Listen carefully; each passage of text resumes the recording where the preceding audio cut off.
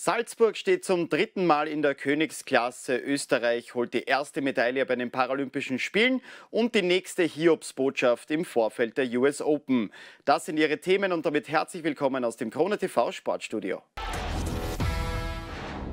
Red Bull Salzburg hat es wieder einmal geschafft. Zum dritten Mal in Serie ziehen die Mozartstädter in die Gruppenphase der UEFA Champions League ein. Schon im Hinspiel gegen Brøndby hat sich das Team von Matthias Jeißle mit einem 2:1 Heimerfolg eine aussichtsreiche Ausgangsposition erarbeitet. Und besser hätte es im Rückspiel eigentlich nicht losgehen können. Der erst 18-jährige Slowene Benjamin Šeško bringt die Bull nach feinem Zuspiel von Kamara in Führung.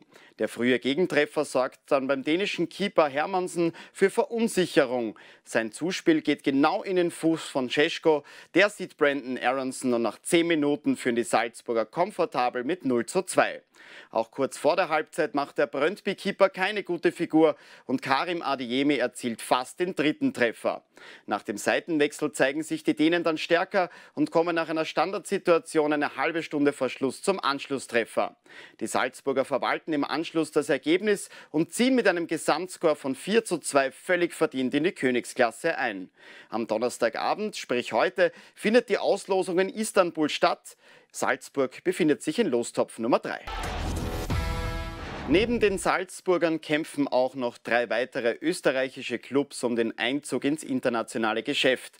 Rapid fährt nach dem 3-0 Hinspielsieg mit viel Selbstvertrauen in die Ukraine. Gegen Soja Luhansk sollte eigentlich nichts mehr anbrennen, aber Cheftrainer Didi Kübauer warnt.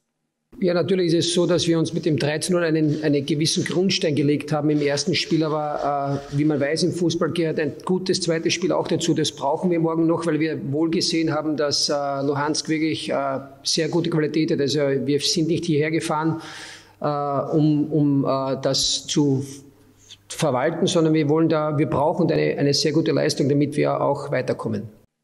Weiterkommen sollte auch Sturm Graz, die sich eine ähnliche Ausgangslage für das Rückspiel gegen Mura gesichert haben. Nach dem 1:3 Auswärtserfolg in Slowenien können die Grazer vor eigenem Publikum den Einzug in die Euroleague-Gruppenphase klarmachen. Erst gestern kommt es auch bei den Grazern zu Vertragsverlängerungen von Trainer Christian Ilzer und Sportdirektor Andreas Schicker. Die Zusammenarbeit mit dem Erfolgsduo wird vorzeitig bis Sommer 2024 verlängert.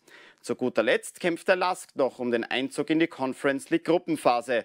Im Hinspiel sind die Linzer gegen St. Johnstone nicht über ein 1:1 Remis hinausgekommen. Der Talhammer 11 ist aber in Schottland alles zuzutrauen. Und wir bleiben im internationalen Fußballgeschäft, denn einer der erfolgreichsten Trainer der Gegenwart sucht ab 2023 eine neue Herausforderung. Die Rede ist von Pep Guardiola, dessen Vertrag bei Manchester City in knapp zwei Jahren ausläuft. Allerdings weiß der 50-jährige Katalane auch schon, wie es in seiner Karriere weitergehen soll. Wie schon nach seiner Zeit in Barcelona wird er eine Pause einlegen, um auf das Erreichte zurückzublicken. Und danach? Da will der Erfolgscoach eine Nationalmannschaft in Europa oder Südamerika übernehmen. Die bisherigen Erfolge als Coach sprechen für ein Engagement bei einer Spitzenauswahl. Alles andere wäre Pep wohl auch nicht wirklich recht. Mit den Citizens hat er in den letzten vier Jahren drei Meisterschaften gefeiert. Das große Ziel bleibt aber der lang ersehnte Champions League-Titelgewinn. Bei den Paralympics darf sich das rot-weiß-rote Team über das erste Edelmetall freuen. Dressurreiter Peppo Puch gewinnt in der Einzelwertung auf Sailors Blue die Silbermedaille. Dabei hat es zu Beginn seines Auftritts gar nicht mal so gut ausgesehen, denn nach einem fehlerhaften Start findet das Dream Team erst wieder in die Spur und selbst ein Rettungswagen brachte den 13-jährigen Wallach nicht mehr aus der Ruhe. Für Peppo Puch ist es die insgesamt fünfte Medaille bei Paralympischen Spielen. Der 55-jährige Grazer hat sich 2008 den dritten und vierten Halswirbel bei einem Sturz gebrochen und ist seitdem querschnittsgelähmt.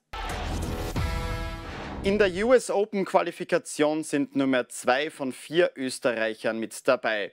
Bei den Herren hat Juri Rodionov die erste Hürde genommen. Er setzt sich gegen Danilo Petrovic aus Serbien mühelos durch. Jetzt wartet Federico Gallo aus Italien. Für den anderen männlichen Qualifikanten ist das Abenteuer in New York bereits zu Ende. Sebastian Ofner unterliegt in seinem Auftaktspiel dem Taiwanesen Jason Jung.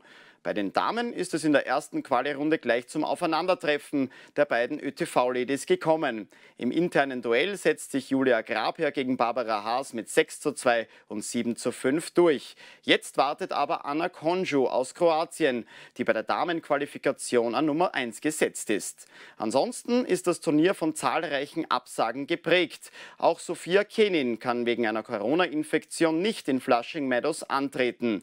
Zuvor haben sich die Williams-Schwestern Titelverteidiger Dominik Thiem, Roger Federer und Rafael Nadal für die Nichtteilnahme entschieden.